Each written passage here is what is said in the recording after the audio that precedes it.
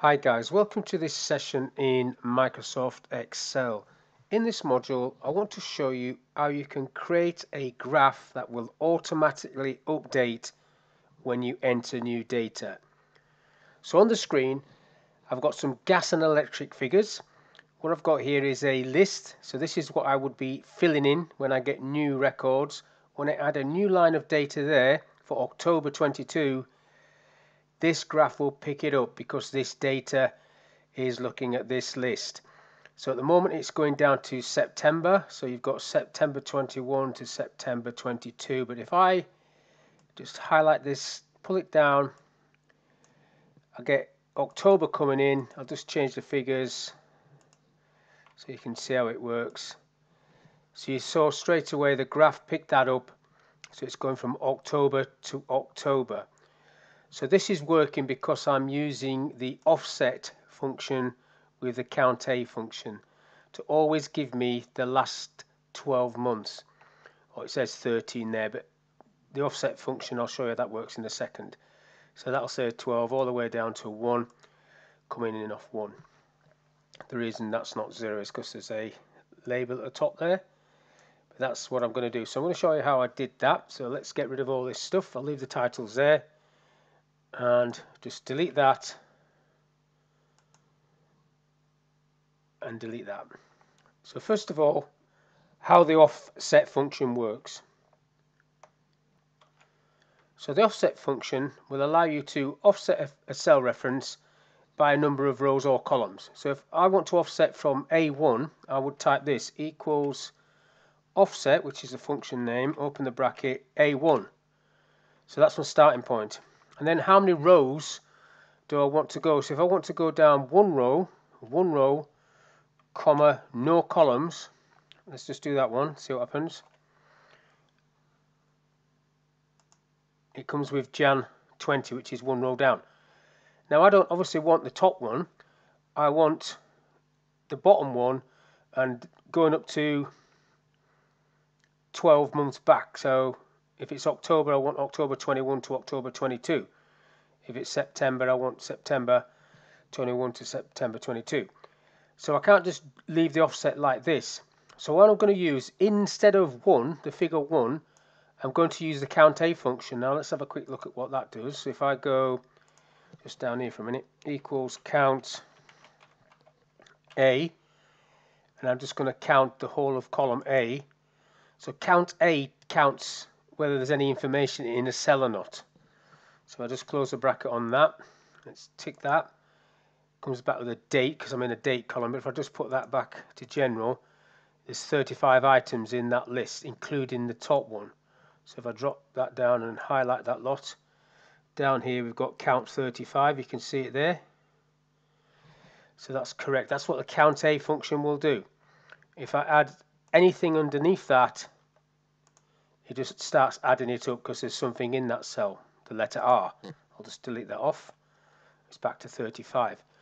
So what I'm going to do is do the offset function with the count A and then I've got to minus how many months back I want. So let's just show you that one. So equals offset, open the bracket, still looking at A1 on this one, A1 comma, but now I'm going to put the count A function instead of the row number and then click on column A, so it'll count all of column A.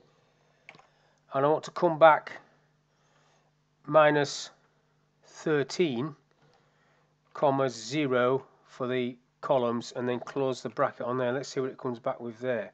Let's just tick that one. So it's coming back with that. Now I've got conditional formatting on this column, these three columns actually just if it equals whatever's there just to colour it up so you can see that minus 13 is giving me that date which is what I want. Then I want it to compare month on month. So basically we, we look we can see how how much more or less we paid in October this year to last year. Now I need to pull that across. So this next column look, needs to look at B1 and C1 so let's just pull that over. Now it's picking up the format as a date, so I'll just highlight those two and put it back to money. So 54, 46, that's worked fine.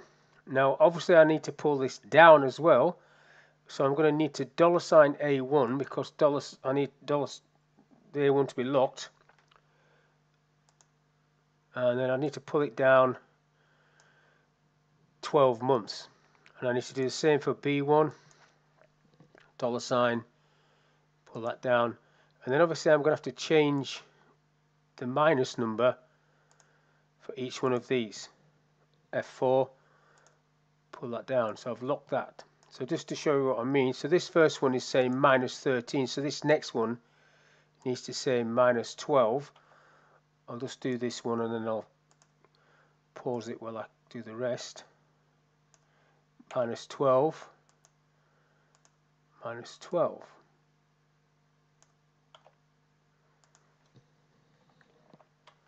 let's just check that's picked up November, which is correct. 55.97, 55.97, 130.86. So that's picking that up. And now I need to repeat the process for the rest of this, which I'll just do um, while I pause this. I've now done that, so the last one is just saying minus 1, which is picking up the last entry. So if I add a new entry, so if I go November or November dash 22 that should pick that one up so it's gone to November 22 and if whatever I put in there that will pick it up. And then just format those two to pounds. As you can see there. So that is a dynamic little list. It's always going to give you the 13 months the comparison that month and this one. What you then do is just highlight that data. Create yourself a little graph. So just go for a 2d column chart push it into position too far. Expand it if you need to and give it a title gas and electric. Spend. Gas and electric spend. So you've got your little graph there and as you keep adding things at the bottom so December 22 and assume it goes up a lot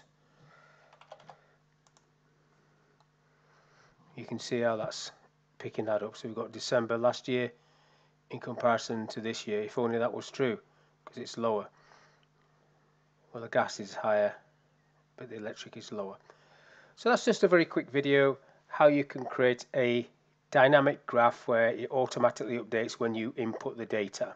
So hopefully, hope you found that useful. Thank you for your time. I'll catch you in the next one.